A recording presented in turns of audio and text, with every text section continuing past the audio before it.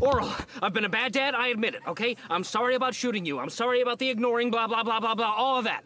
Now that we've made up, you gotta tell me what that witch is up to. You gotta, Orel, please. People just don't say what's on their mind, Dad. Don't give me that, that's my line. Well, guess it's true. Well, of course it's true. The mind is a scary, scary, scary thing. Why? Because somewhere, way down deep inside, in its twisted catacombs and dank, dark hallways, there's an even scarier, more horribly monstrous entity. W what? Truth. Now, tell me the truth, Orel.